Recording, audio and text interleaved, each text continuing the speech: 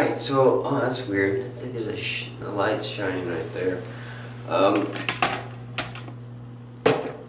oh, that's interesting. I, I don't know if it's distracting or not, seeing the, uh, the wall. Or no, I mean, I don't know if it's distracting me uh, looking at the monitor. Just turn it over. Yeah, just talk right to you. Uh, got back from horseback riding. Gonna poop. I think maybe the jumping up and down did it. The horses uh, had a nice one. I think its name was Tara. Uh, we we did a little, not quite trotting, not running. It's more like a saunter, and that was enjoyable. Um, I think my foot holders could have been one notch shorter. Because I felt that when he was um, jogging along there, I wish I'd been able to stand a little bit more.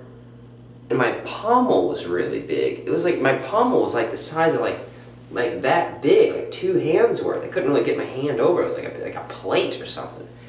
Really weird. Um, but it was nice.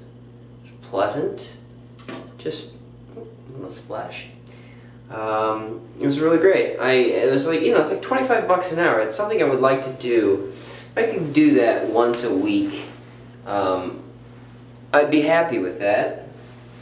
This seems to be like something um, to be able to say like, oh yeah, I, I can horseback ride. He would say, oh yeah. How often do you ride? He said once a week. Yeah. Oh, okay. Um, it's a nice day out, and um, God, I think I'm gonna take a nap. If that, I mean, it's like 8:30 now, so if I take a nap, I'm gonna be up all night. Oh Christ, I gotta work with this. Fix this other guy's door tomorrow. Um, they gotta go and get some. Ah, crap. All right, well that's it.